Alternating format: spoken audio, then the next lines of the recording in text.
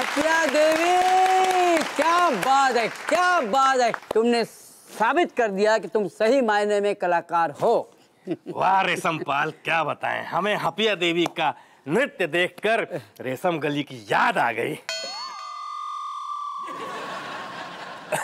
अरे मतलब लखनऊ में फनकारों की कमी नहीं है। मतलब क्या बता दें हम हपिया देवी की तारीफ़ में क्या बोले हम। मंत्री जी आप खुश तो हम खुश।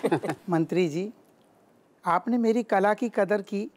इसके लिए आपका धन्यवाद।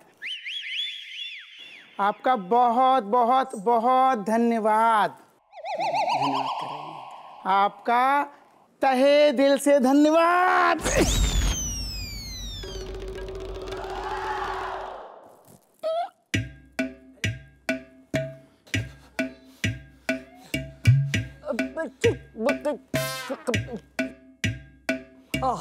सिंह तुम? कमिश्नर मज़ाक बना रखा है। पंद्रह अगस्त के दिन हमको बुला के लौंडा ड्राइव करवा रहे हो। सब हमारी असल में तो कैसे समझाएँ? हमारी बात- शराब सिंह। पूरी ये ये क्या मज़ाक लगा रखा है हप्पू सिंह? हमारे प्रोग्राम में आज मंत्री जी आए हैं और तुम लेडीज़ कॉस्ट्यूम पहनकर डांस कर रहे हो। हप्पू सिंह आज तुम्हारी वजह से सबके सामने मेरा सर शर्म से झुक गया। पूरे डिपार्टमेंट की नाक कटवा के तुमने रख दी है। मैं मैं अभी के अभी अभी के अभी मैं तुम्हें सस्पेंड करता हूँ। You are you are suspended you are suspended अरे ने समझाओ तुम। राइट सर हापू सर सारे धन्यवाद ठीक थे लेकिन ये झुक कर तहे दिल से धन्यवाद देने की क्या ज़रूरत थी सर महँगा पड़ गया ना आपको। चलो भैया मंत्री जी। एक second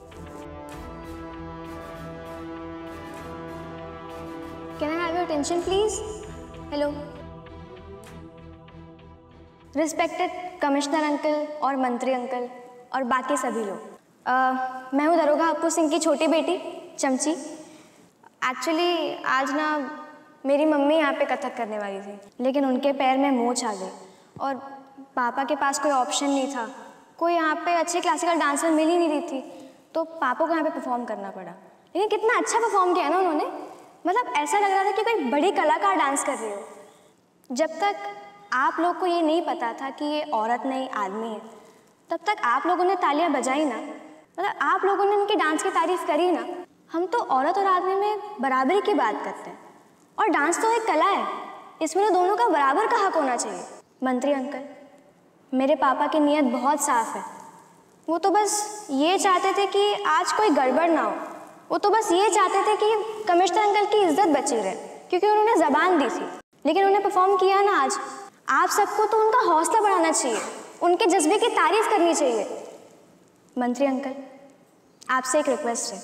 आज आज़ादी का दिन है, और हमें औरत और आदमी की असमानता की सोच से आज़ाद होना चाहिए। हमें औरत और आदमी को बराबरी का मौका और दर्जा देना चाहिए। ये सामाजिक दीवारें गिरा देनी चाहिए।